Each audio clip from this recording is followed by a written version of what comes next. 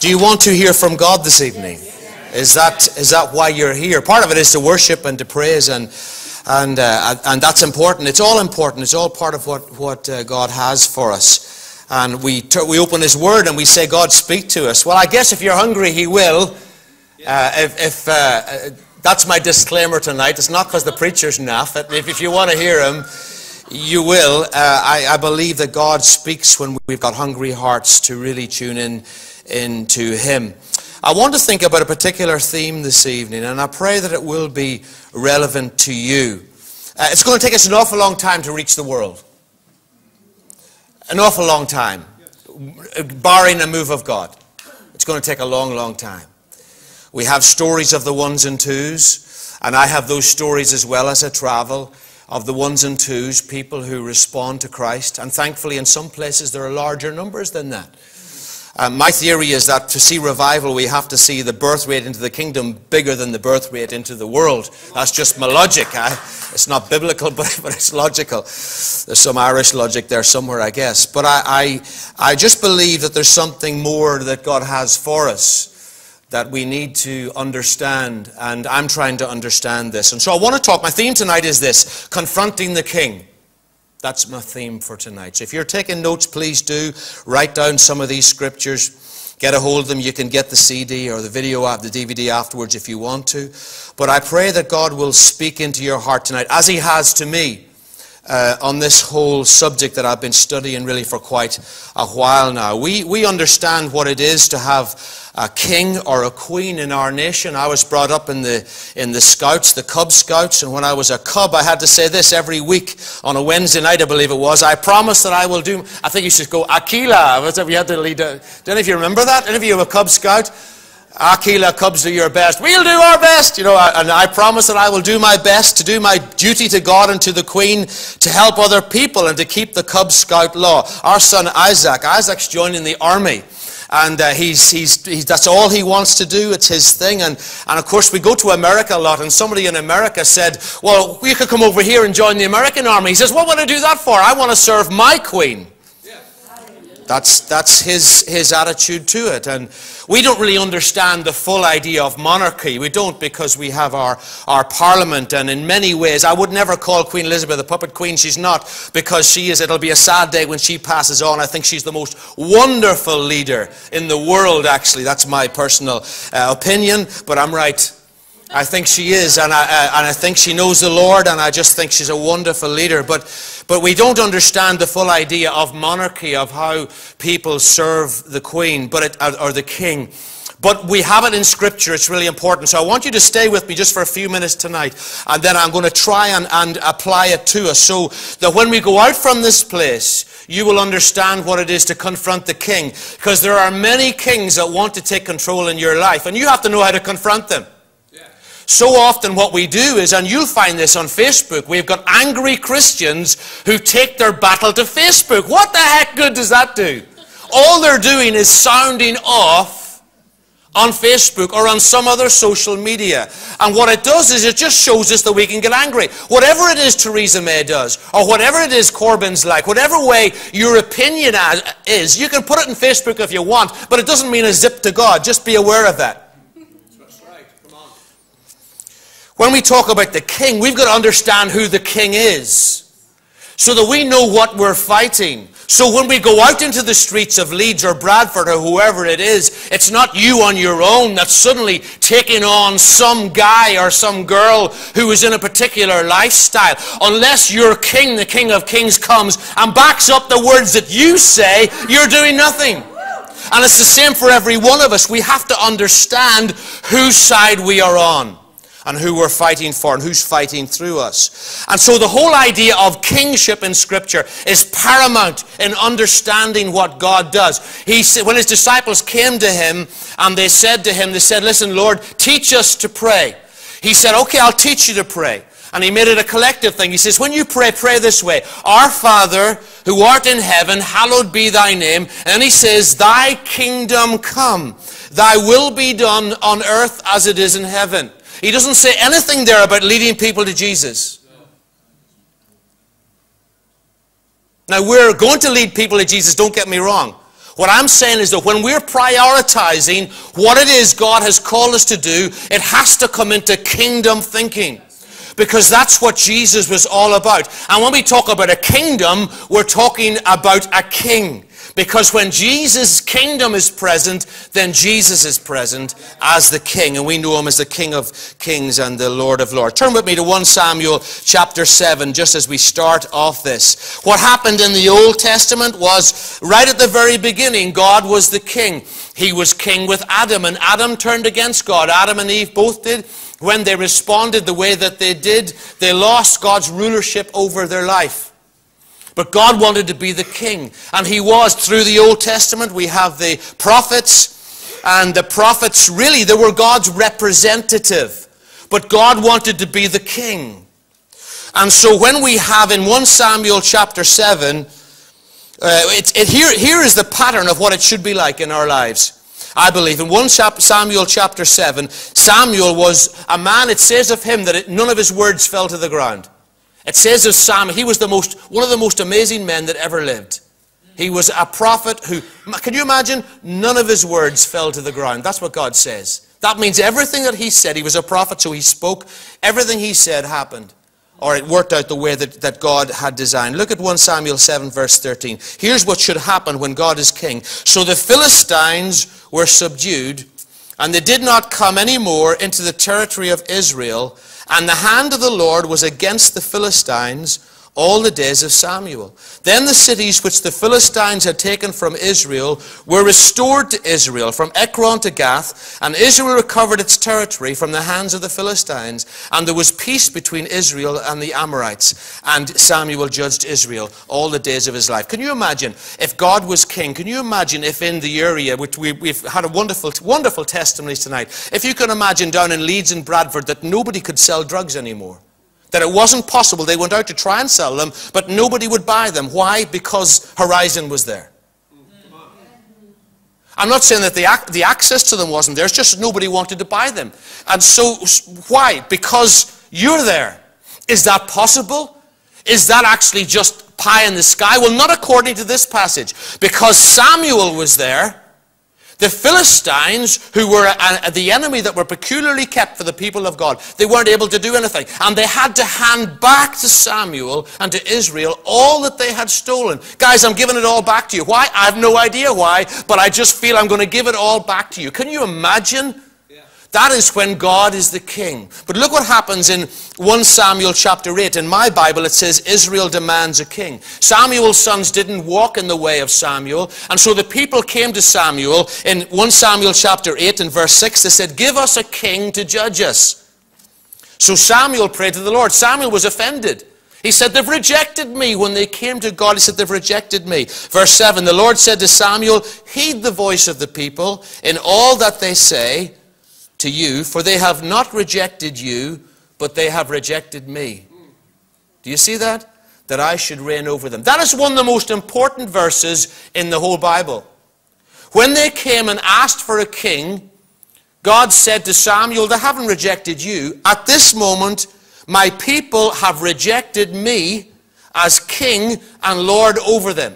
And so from that moment on, he says, let them have what they are asking for. They want a different king. Okay, it's not my plan, but let them have a different king. And so that's when God chose Saul, first of all, and then, of course, we have David. So there's a different king who is the master in, in, uh, in what's going on there in Israel. All right, are you with me so far?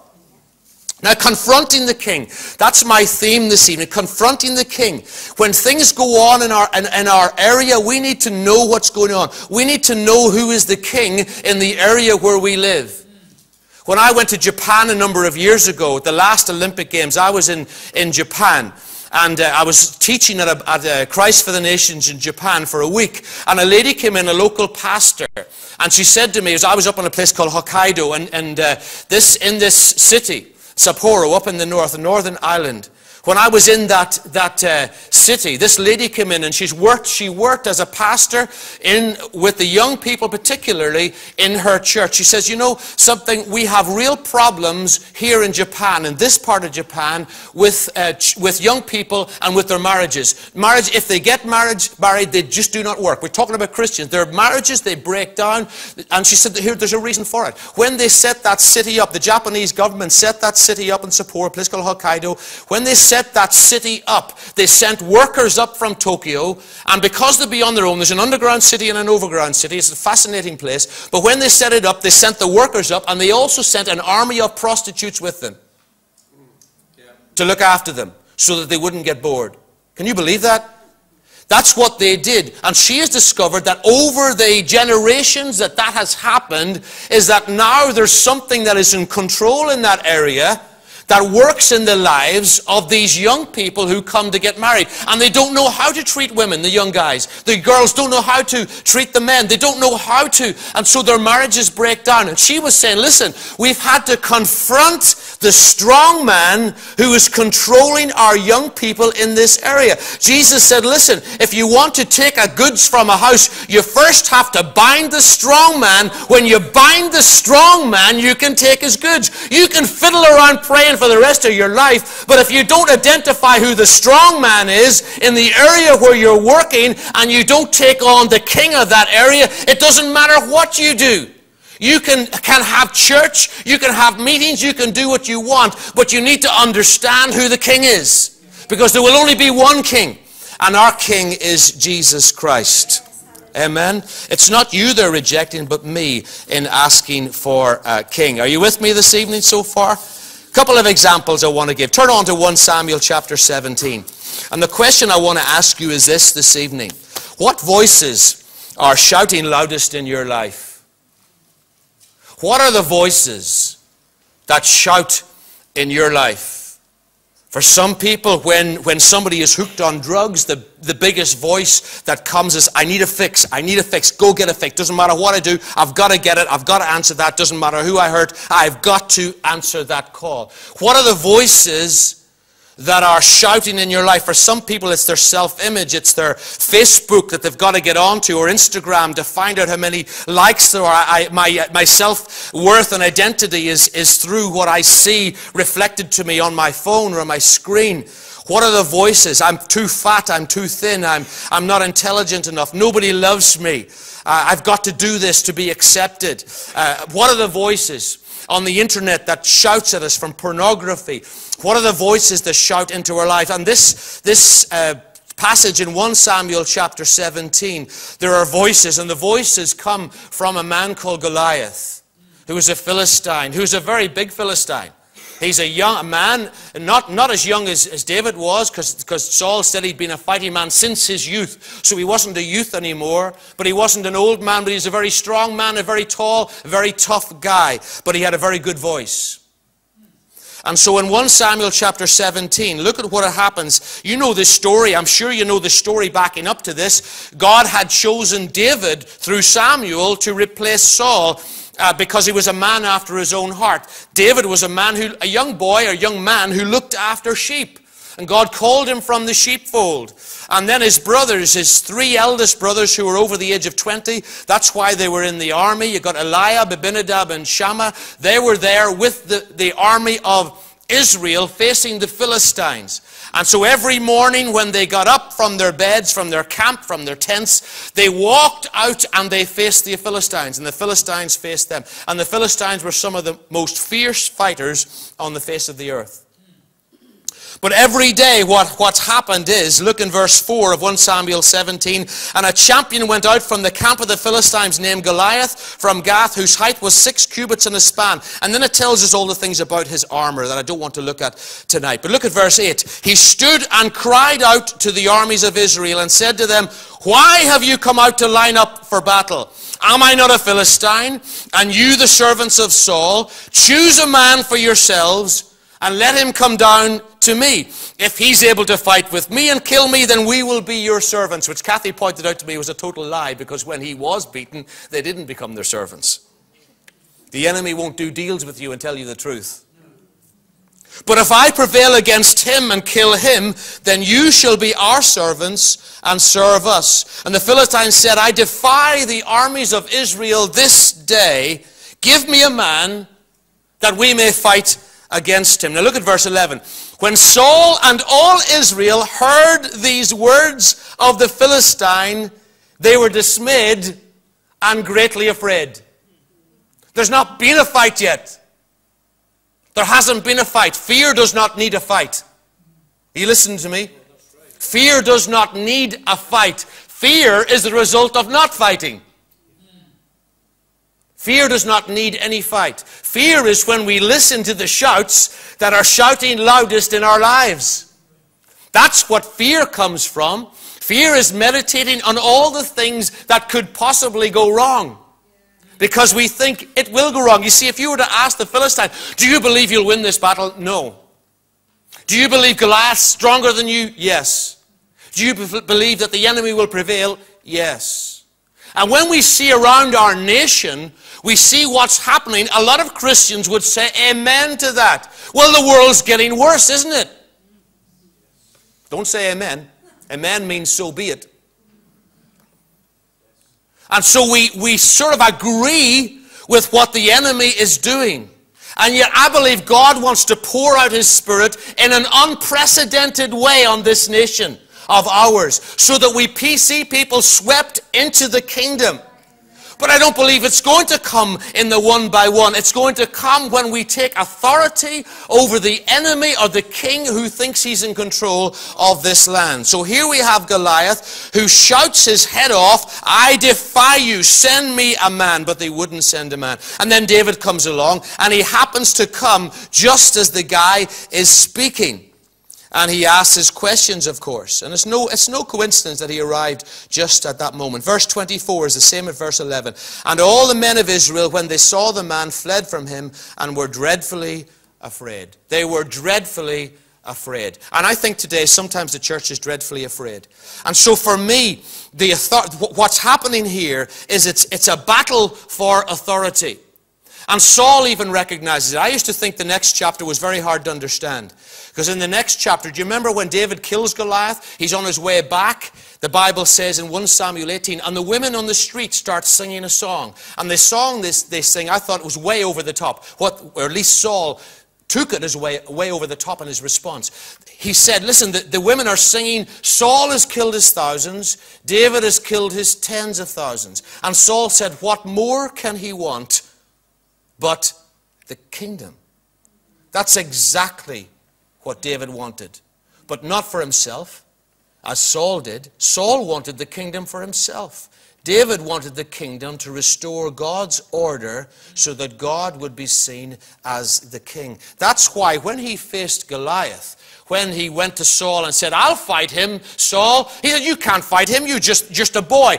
Listen, I'll fight him. I fought the lion. I fought the bear when they came to take my, my sheep. They had no right, they had no legal right to take my, my sheep, my father's flocks. They had no legal right. So, of course, I'm going to call that bear out. I'm going to call that lion out for who he was. And the same God who gave me the, the ability to take out the lion and to take out the bear will give me the ability to take out this uncircumcised Philistine. See, all the, the rest of the army, they saw a man coming to fight him. David saw an uncircumcised Philistine. And he's not talking about his loincloth. He didn't see a flash of what was there. What he's saying basically is this this man has no legal authority to speak in the way he's speaking. He's got no right to do that. He's defying the armies of the living God. I'm going to take him out. Why? Because he thinks he's the king. That's what he stood for. He said, Listen, if you guys defeat me, you'll be the king. If I defeat you, I'll be the king. This was a battle for authority. And David recognized it as such. And that's why he came and says, No, God is the king. I will take this man out and I will destroy him right this moment. Just you watch. And he did it. It was a battle for authority. See, we need to know who he is in our ministries if we're going to confront the king. I looked through some scriptures here. Luke 4, verse 6. Jesus said, or this is actually what the enemy said to Jesus when he wanted him to bow down. He says, All this authority I will give you. You see, there was an element of truth in that. The devil was given some authority. But Jesus won it back on the cross. It says, you know, he descended into hell and he took the keys of death and hell. So Jesus took authority and he has all authority. Matthew 16, verse 19, I will give you the keys of the kingdom. Whatever you bind on earth will be bound in heaven. What does that mean? Whatever you loose on earth will be loosed in heaven. That's not our persuasive talking. That's using the authority God has given you. Mark 3.27, I've already quoted it. No one can enter a strong man's house and plunder his goods unless he first binds the strong man. Then he will plunder his house. Luke 10.19, Behold, I send out the 70. Behold, I give you authority to trample on serpents and scorpions and over all the power of the enemy, and nothing shall by any means hurt you. Luke 4, verse 31, Jesus goes into church. He goes into the synagogue. And he cast out an unclean spirit. Why? He was speaking with authority. He had authority. And Jesus said in John 20, 21, Peace to you as the Father has sent me. That's the same way that I send you. Now turn with me, I've got two examples here this evening. Turn with me to the second book of Kings and chapter 1. I read this recently and I just saw something in it. You might never have looked at this passage in your life. It's about King Ahaziah. And if I asked you without opening your Bible, who's King Ahaziah, you might not have a clue. Maybe you know more than I do, maybe you did, but I doubt it. 2 Kings chapter 1. It's an interesting story. Let me, can I read a bit of it with you? It'll sort of preach as I read it, if that's all right. So just if you've got your Bible, follow it. 2 Kings chapter 1. It's about Ahaziah who fell through his, the, his roof and he became, he became crippled. And it looked like he, was, he wasn't going to recover. And so he said to his men, Go and consult Baal. Baal the evil God, find out if I will recover. It's in 2 Kings chapter 1. But verse 3, but an angel, the angel of the Lord said to Elijah the Tishbite, Arise, go up to meet the messengers of the king of Samaria, and say to them, Is it because there's no God in Israel that you are going to inquire of Beelzebub, the god of Ekron, Beelzebub's lord of the flies? Now therefore, thus says the Lord, You shall not come down from the bed to which you've gone up, but you shall surely die. So Elijah departed. This passage is all about authority. When the messengers returned to him, he said to them, Why have you come back? So they said to him, A man came to meet us and said to us, Go return to the king who sent you and say to him, Thus says the Lord, Is it because there's no God in Israel you're sending to inquire of Beelzebub, the god of Ekron? Therefore you shall not come down from the bed to which you've gone up, but you shall surely die. Then he said to them, This is the king, what kind of man was it who came up to meet you and told you these words? So they answered him, A hairy man wearing a leather belt around his waist. He said, It's Elijah the Tishbite. Now, this, note this next bit, verse 9. Then the king sent to him a captain of 50 with his 50 men. So he went up to him, and there he was, this is Elijah, sitting on the top of a hill. And he spoke to him, Man of God, the king has said, Come down. This is authority. This, you see, it, uh, it, uh, the king had lost his authority. This is the king trying to exercise his authority. Elijah's the man of God. He's sitting on a hill. They come up, and this is what the first man said Man of God, the king has said, Come down. So Elijah answered and said to the captain of fifty, If I'm a man of God, then let fire come down from heaven and consume you and your fifty men. And fire came down from heaven and consumed him and his fifty. A firebolt came out, burned him up. Do you like this story? Then the king, verse 11, sent to him another captain of 50 with his 50 men. And he answered and said to him, Man of God, thus has the king said, Come down quickly. The king has said, you see that? He's quoting the king. He said, I've got authority. That's the, the captain basically saying, We've got authority here over you. Elijah says, You think so? Come down quickly. So Elijah said to them, If I'm a man of God, let fire come down from heaven and consume you and your 50 men. And the fire of God came down from heaven and consumed him and his 50. That's a hundred charcoal men at the bottom of the hill. Right? Zipped completely. Verse 13 Again, he sent a third captain of 50 with his 50 men. And the third captain, he was a wise man, of 50 went up and came, fell on his knees before Elijah, and pleaded with him and said, doesn't mention the king, pleaded with him, said to him, Man of God, please, let my life and the life of these 50 servants of yours be precious in your sight. He's recognized authority. I'm not even going to quote the king. I've come to you, and the king has sent me, but I'm not even going to mention his name. But I recognize here, sitting on that hill, you have got authority from God. So please, please, respect the life of me and my 50 men. Look, fires come down from heaven, burned up the first two captains of 50s with their 50s. But let my life now be precious in your sight. The angel of the Lord said to Elijah, Go down with him.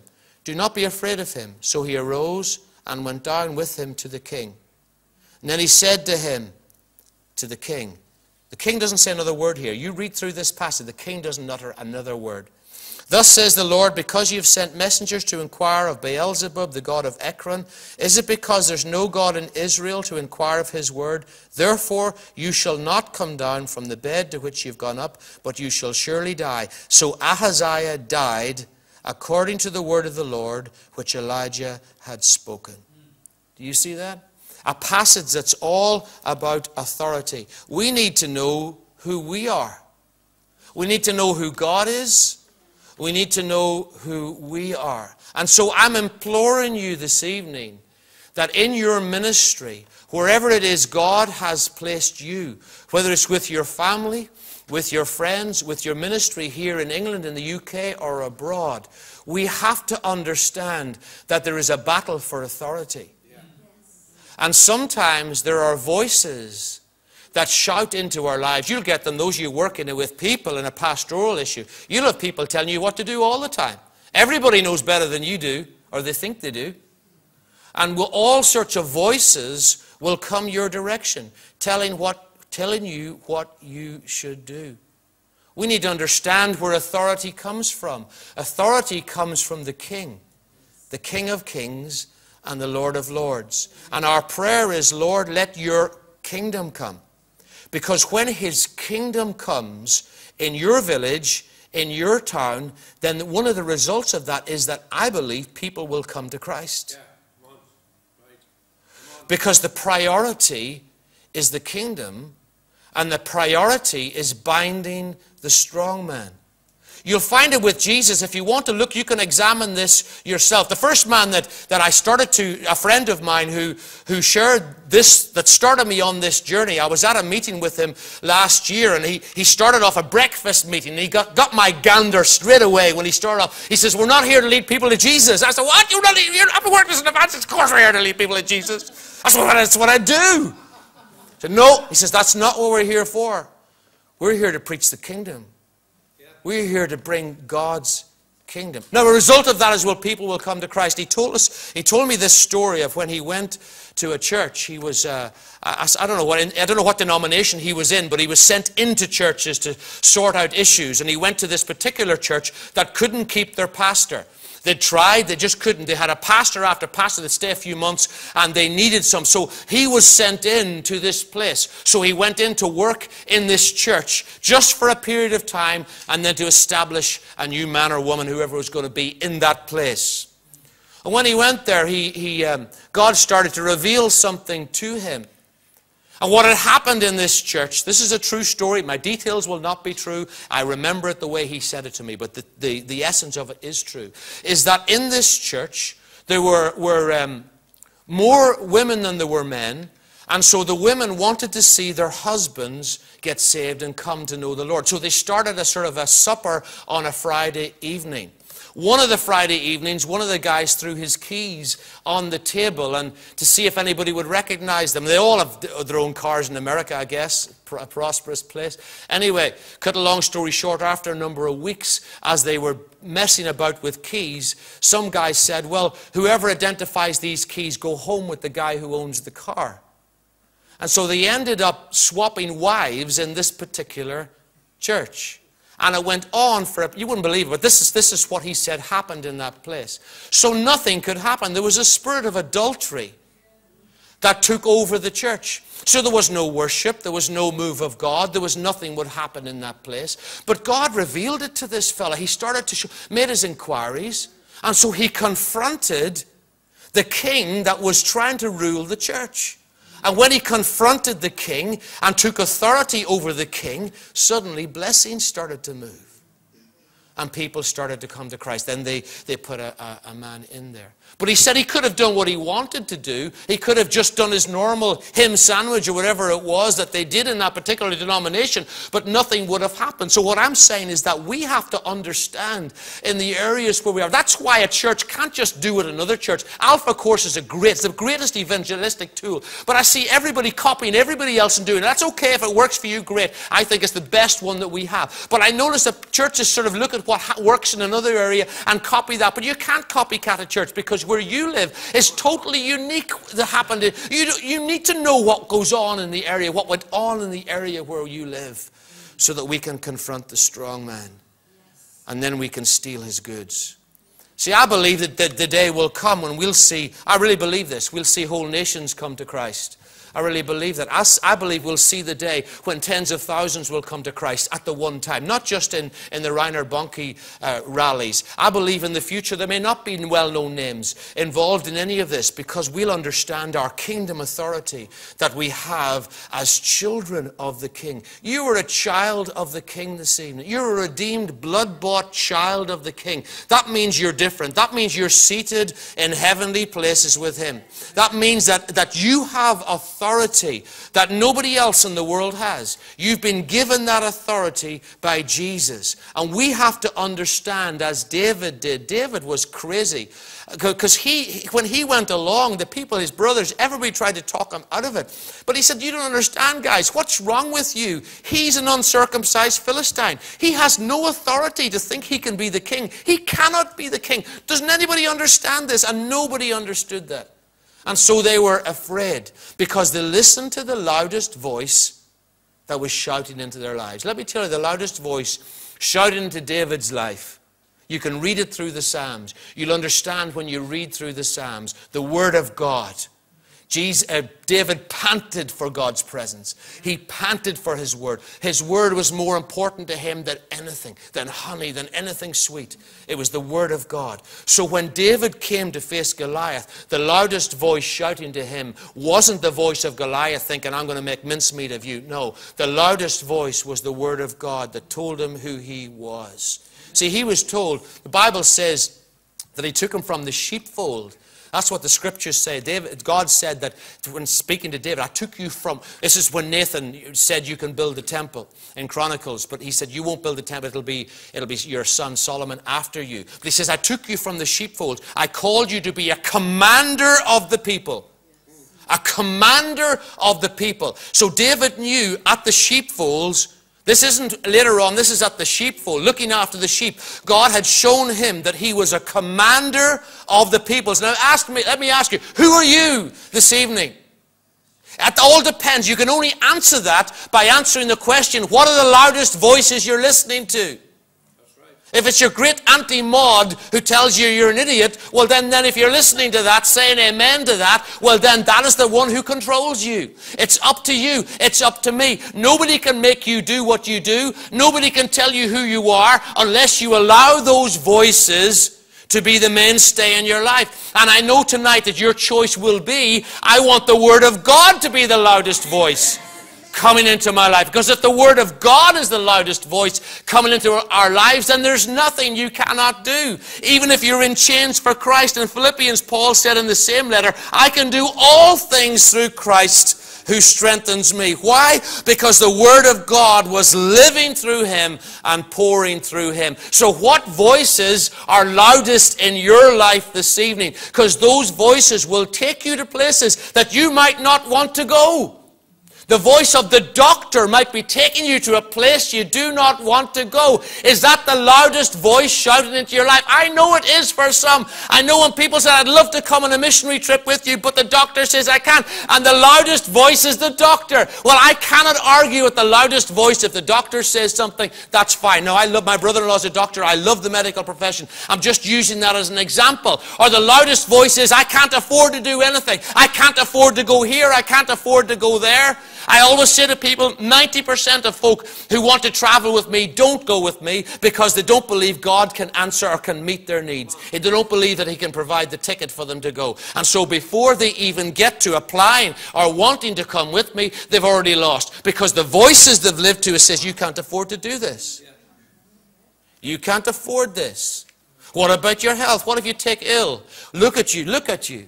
You can't do this. And so those voices, they control us so much. And we normally say amen to them. Well, I'm wanting you to get a bit more aggressive this evening. You were aggressive in your praise.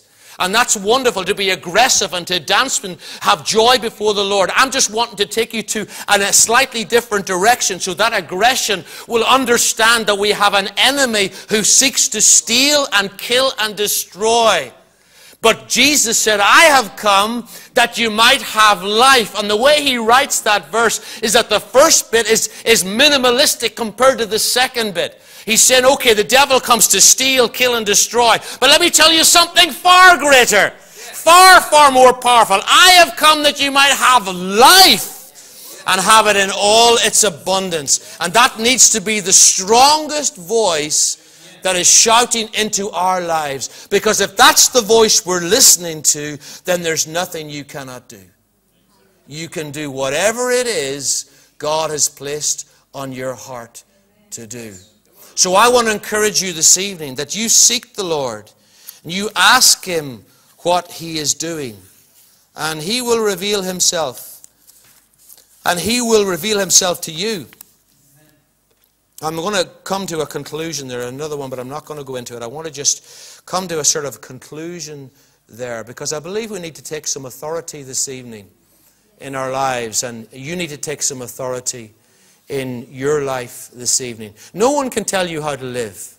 Even as a Christian, no one can tell you how to live. No one can tell me how to live. I'm my own boss. I decide what I do, and I decide how to do it.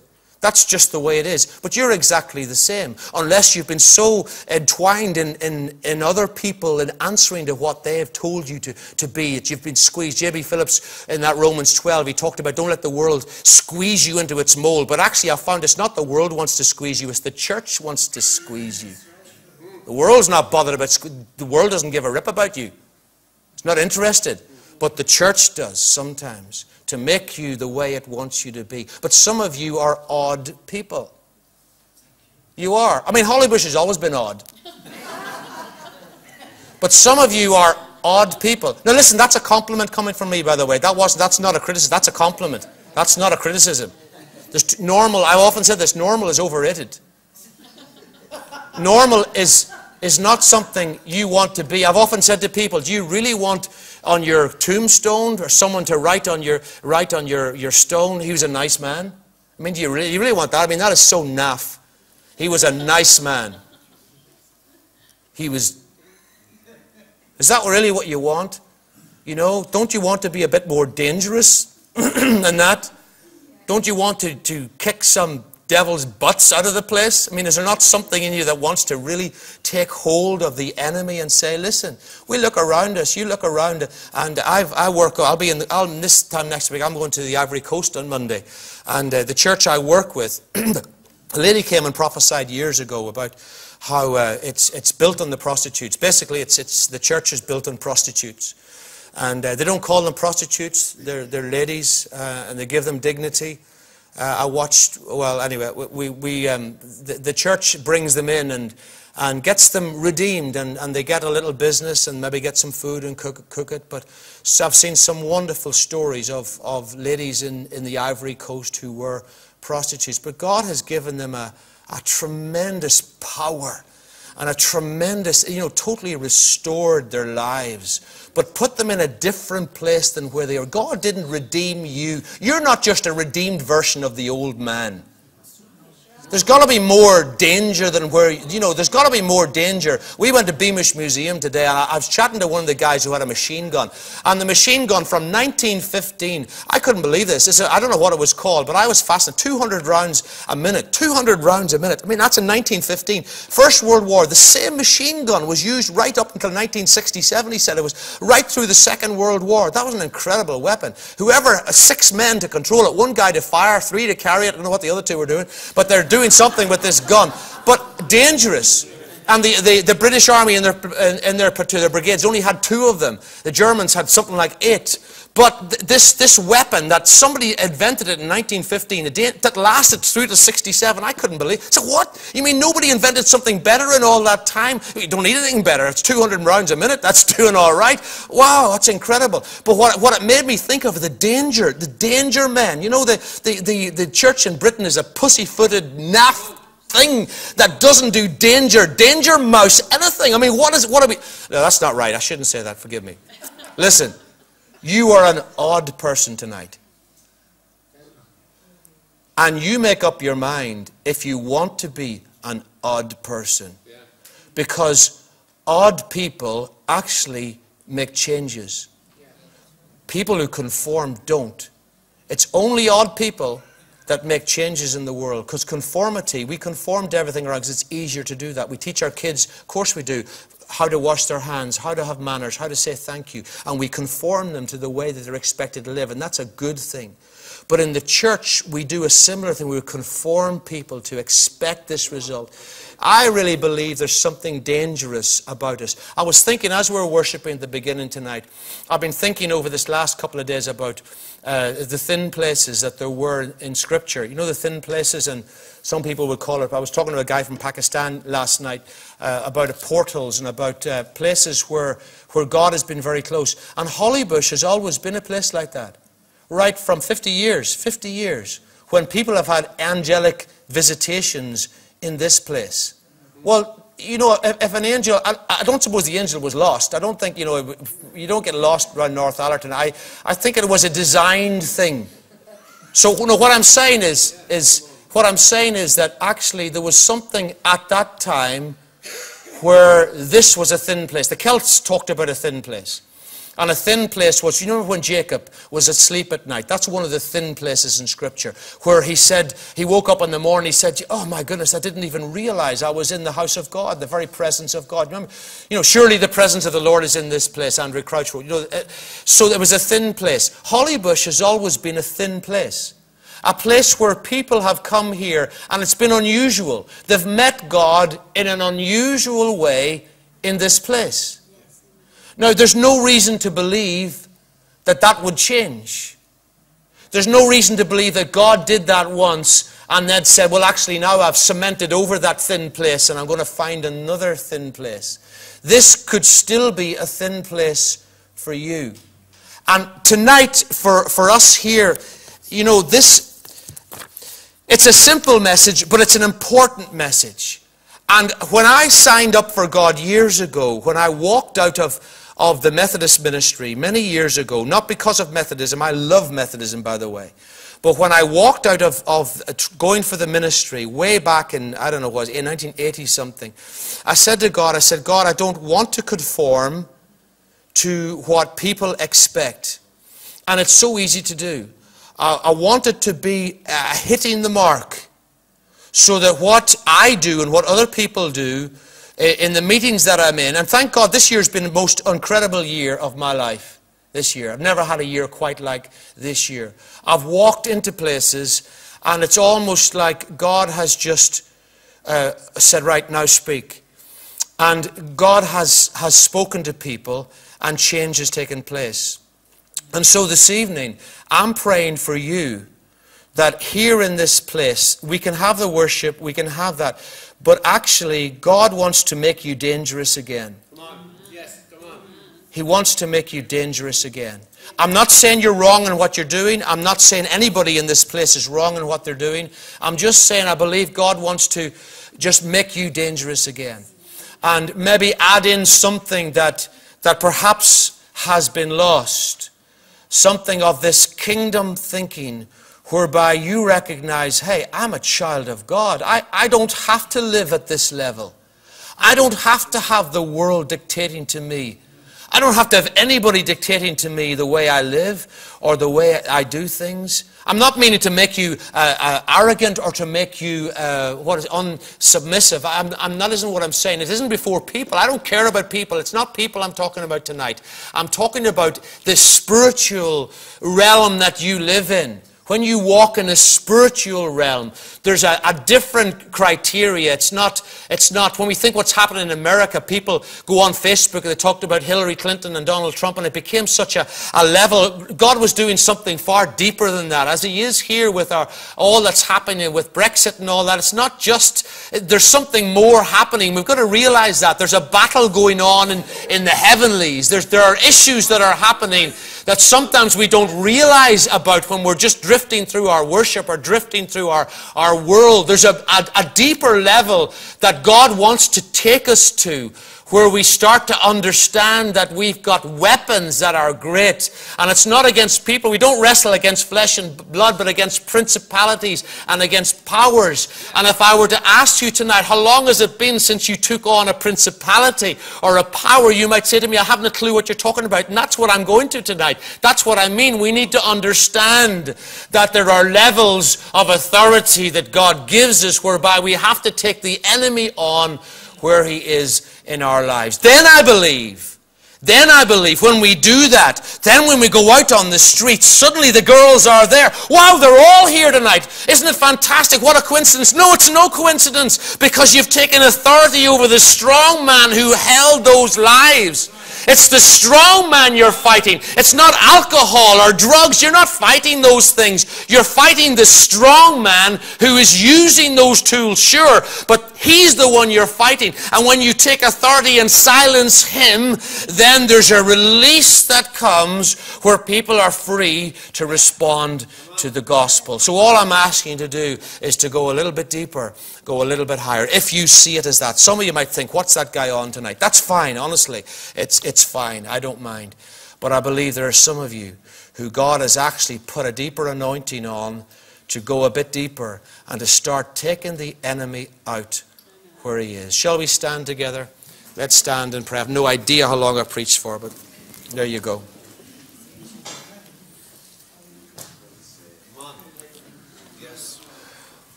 Now, if God has spoken to you tonight, it won't be for everybody. I wonder, would you like to come and just stand at the front before I pray? If God has spoken to you, we don't need an emotional alarm of God, I come or anything. Just if God has spoken to you, I want to just declare this over your life tonight. If He has. And, and we're just going to de- declare that God is putting you on a higher level. That's fine. I don't mind who comes, who doesn't come. I just want to ask. All I, it's not important that you come. That, that isn't, it isn't for me. It's not about me. Uh, it's not about me at all. When I preach, it's not about me, it's about you. So it doesn't matter to me whether somebody comes or not. It's not the walking to the front that does it. All it, all it does is it, it makes you move where you say, right, I'm into this. That's all responding does and uh, we can just say, God, you know, you're, we're, we're taking a step towards you. God, you've seen the hearts of people here tonight taking a step towards you. You've seen that. Lord, when we look through the scripture and we, we've just studied it tonight, a small bit of it about the kingdom, we want to be kingdom people. And Lord, we want to see this great nation of Great Britain, this great, great nation. We want to see uh, England and Scotland and Wales and Northern Ireland and the whole Ireland, island of Ireland. We want to see these nations come to know you. We want to see Europe come to know you. God, this place, Lord, we want to remind you that this is the place that you spoke, what you sent missionaries out of way back in the, the late 1800s, early, uh, the late 19th century. God, I thank you for the, the modern missionary movement, the students' missionary movement, the movements that came from Britain Thank you, Lord, for those from Cambridge, those from Wales, the Welsh revival. Thank you, Lord, those who came from Scotland. Father, those that came out of Ireland. Thank you, Lord, for those Christians that came with the Celts. Thank you for St. Patrick. Thank you, Lord, for, for the people who came to these shores with the gospel. Thank you, Lord, for every Christian you've sent who stood up, Lord, in this place. But, Lord, we're here tonight. And God, we're just standing here in your presence. And Lord, we want to acknowledge you that Jesus is King. Maybe you, maybe you don't know Jesus tonight. Listen, this can, you don't have to repeat a certain prayer. Just acknowledge Him as King tonight and ask Him into your life. Ask Him to cleanse you from your sin. He'll do that tonight, just standing here. Just you do that. We acknowledge you as King tonight, King of our lives. We submit to you, to your Lordship. And God, we want to say to you, we don't want to be King ourselves. We want to see Jesus as the King. You are the life giver. You are the one who said the enemy seeks to steal, kill, and destroy, but I have come that you might have life. And Lord, we are life people tonight. And so, Father, we stand for life. We stand for the kingdom of God. Lord, as we stand up on this tonight, just on this floor here in this church, devil, we want to say to you that you are a liar, you are a thief, you steal, but no longer we come and we stand on this holy ground and we take authority over you and say, No longer do you have any role in my life. No longer will I listen to your voices. No longer will I listen to your orders or to your commands. But I recognize you tonight for who you are a thief. And you have no legal authority. You are an uncircumcised Philistine. And so this day, we cut off your head in Jesus' name. And we declare the kingship of Jesus. And so, Lord, we submit to you tonight. We say that you have full authority in our lives to do what you want in each one of our lives. And so, Lord, I pray, Holy Spirit, would you come and would you speak to each one of us that as we go from this place, teach us, Lord, what the, the spiritual things that are trying to control Leeds and Bradford and Northallerton and, and Thirsk or, or Buckinghamshire or, or wherever it is in, up in County Durham. Lord, speak to us. Pull back the curtain so that we can recognize the enemy for who he is. And Lord, then we will bind the strong man and we will loose the power of God. You said what we bind on earth will be loosed on heaven will be, will be bound in heaven. What we loose on earth will be loosed in heaven. And so, Father, we take authority tonight and we say, Lord Jesus, just raise your hands to Him and just say, Lord Jesus, Lord Jesus. Lord, I, I commission this group of odd people tonight. I commission this group of dangerous people tonight. Just like that machine gun I saw today. Lord, I pray, God, that you will set off a machine gun inside each one of these people, men and women tonight. That God, some somehow, I pray some of them, Lord, will not sleep tonight properly, but through the night you will minister to them and download. God, I pray you'll download your word in a way they've never seen before. I pray, Lord, you'll give revelation after revelation. But Lord, most of all, let them understand who the strong man is. And Lord, I pray they will take authority and that God, they will see results like they've never seen before. Lord, I pray for those prostitutes, Lord, those women of the street, particularly in Bradford and Leeds. God, we bind the strong man. Devil, we bind you in Jesus' name. You need to get out of that place because you have no legal authority. You are an uncircumcised Philistine. We command you to take your hands off those streets. We pray, Lord, you will cause those pimps to just leave in Jesus' name. And Lord, we declare, we loose your power through that team in Jesus' name, that as they go out each night down onto those streets, that Lord, they will lead a girl after girl after girl. Easy. Lord, let it be easy for them because the strong man has been bound. God, teach us, please. We, we're your children tonight, and we pray, Lord, teach us, I pray, to understand where we are just like Daniel, I said, there's, in the heavens, there's a battle going on that we know nothing of. Lord, would you pull back the curtain and let us just see? So that, Father, we will say the words you're saying. We will fight the enemy you're fighting. And we will see the victory that you will enjoy, that you've already said on the cross, it's finished. So we declare, Lord, your kingdom come, your will be done in each of our lives this evening. In Jesus' name we pray. Amen. Well, the Lord bless you. The Lord bless you. Jim, come and take over for me because I don't want to start again. The Lord bless you. Go home and do some damage. Amen.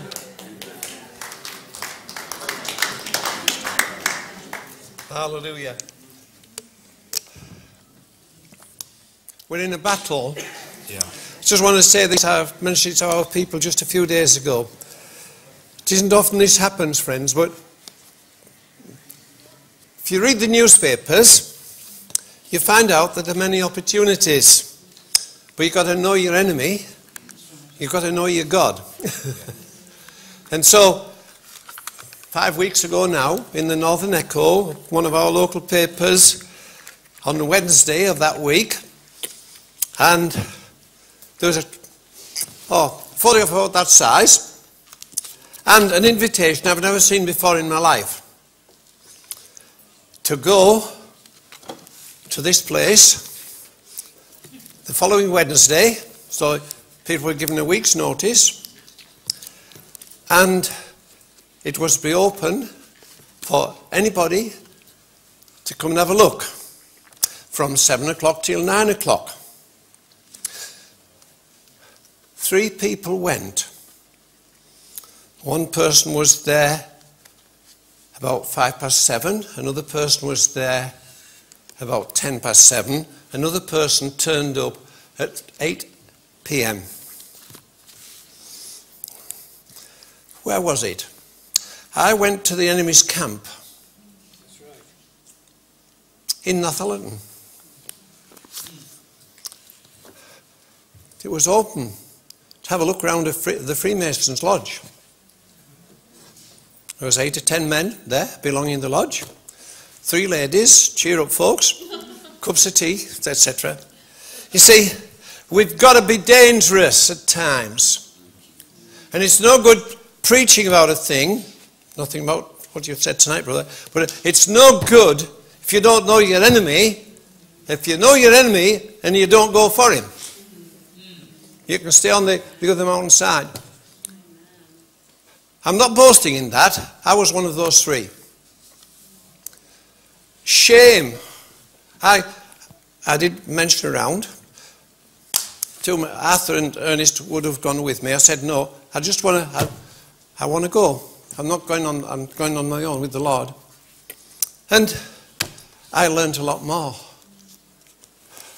But I want to say this, friends. There's been repercussions from that. Hallelujah. And the battle is on the inside, not out there. It's not fisticuffs. That don't do anything. But, hey, friends, it's Kingsley. Thanks for tonight. Simple. Everything you've said, scriptural, right? But hey, if we don't go towards Goliath, we'll lose the battle. Sure. Right. Yep. We've got to go towards Goliath. We've got to have our armour on. And if you notice, one man was mightily armed, and David's brothers were mightily armed. Here's David, no, maybe a sheepskin around him mm. and a sling. But he knew how to use the sling. Right. and he had a God on his side. So, what I'm saying, to each one of us, every age group, some of us are getting a bit older, but hey, come on. Young men, young women, into the army. Volunteers! Not conscripts, volunteers. Amen. That was, yeah, just to make sure. Yes. so, hey, be dangerous. The enemy's dangerous. And the devil's dangerous. He has people doing dangerous things. But come on, friends. We're into 2018, right? Be bold, be strong. Go. Get into the battle. Yeah, you'll be hurt. You'll be misunderstood. But hey, that's where the battle's strong, but that's where Jesus is. Yes. Hallelujah. Amen. Hallelujah. Because he brought us in, not to stay in, he brought us in to go out there. So, hey, let's give a glory shout, David. Come on. Hallelujah. Hallelujah. Hallelujah. Ah, come on, Dave. Come up here. Come on. You can do this. You make the noise. Come on. yes. Yes. Come on. One, two, three. Hallelujah! Well, that, that was fairly good. One, two, three. Hallelujah! And one, and one more time. Hallelujah! Amen. Let's Glory. Keep, let's keep praising God. Amen. Bless you.